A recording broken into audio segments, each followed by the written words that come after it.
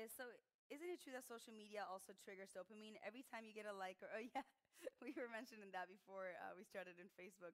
Every time we get a like, oh man, it won't let me read the whole comment. Oh, that's messed up every time you get a like to view it, it and for some reason, I, don't write long because apparently I can't put see more. It's not working for me. Um, yeah, we were just talking about that before we started. Uh, we, we, we've been doing the show for an, half an hour now, so you guys are coming kind of like halfway through. But um, yeah, social media actually triggers our, um, what was it called?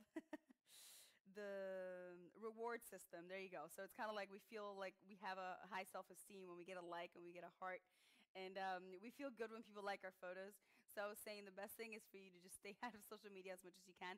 If you're the one to post, go ahead and post. Uh, but don't like constantly be waiting to see what people say because it'll drive you nuts. Uh, have like a time of day, right? When you're like, okay, one time of day, if you work in social media, that is, uh, to answer the comments or likes or things like that. And then other than that, just let it, you know, let it just do its job. Social media works on its own, believe it or not. if you have good content, at least. Dicen, eh, ¿no es verdad que también eh, la dopamina es algo que se puede eh, subir cuando uno está en las redes sociales? Eh, sí, efectivamente, lo, estábamos diciendo justamente antes, de que las redes sociales lo que hacen es activar la parte del cerebro que se llamaría como que el, el reward mechanism, ¿no? Que es que nos sentimos, em, nos sentimos em, como que premiados, ¿no? Y porque claro, cuando uno le pone un like a la foto, tú, ¡wipi! Me dieron un like. me dieron dos likes. Ya cuando tienes muchos, ah, ya, me dieron 100 mil likes, no pasa nada.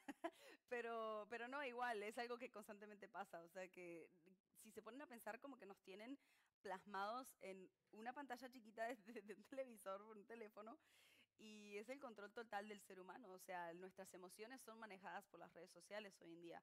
Si tú permites, ¿no? Por supuesto, si estás constantemente en la red social y, y cuando a alguien no le gusta tu foto o hace un comentario negativo y se te arruina el día, eh, tienes que darte cuenta que algo no está bien, o sea, tienes que manejar un poquito más tus prioridades y ver de que, a ver, ¿dónde vives? ¿Con quién vives? Eh, ¿Tienes familia? ¿Tienes amigos? ¿No? ¿Tienes gente con quien trabajas? No todo está en el teléfono hoy en día. A ver, sí, todo está en el teléfono, pero no es lo importante. Eh, te esperamos este verano en Chihuahua, uruguayo. Besos. Hola, Jorge, gracias. Eh, una, bienvenidos. Uruguay de, y en México. Mira vos, qué bien. José, bienvenidos, ¿cómo estamos? Um, Michael says, I wonder how you got a job. Actually, I don't have a job. It's my company. So um, I don't think I could work for anybody. You know, I have a really, really low tolerance of people telling me what to do. Uh, so yeah, and for those that are new, apparently for some reason you guys are sharing this show and we're getting a bunch of new people. But um, this is our 928 shows. So yeah, thanks for the topics. All right, continuing on.